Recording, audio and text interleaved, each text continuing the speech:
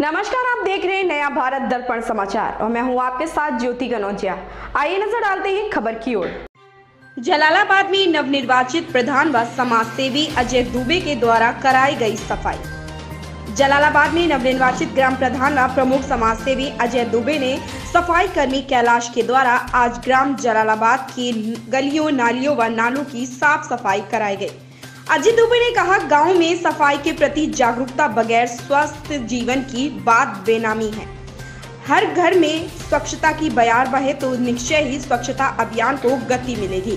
इसके लिए हर स्तर पर प्रयास किया जा रहा है। हम निर्वाचित प्रधान ने कहा, कोरोना महामारी के दृष्टिगत हमें साफ़ सफ़ाई का विशेष ध्यान रखना ज़रूरी है और एक निश्चित समय से सैनिटाइजर का छिड़काव बहुत ज़रूरी है।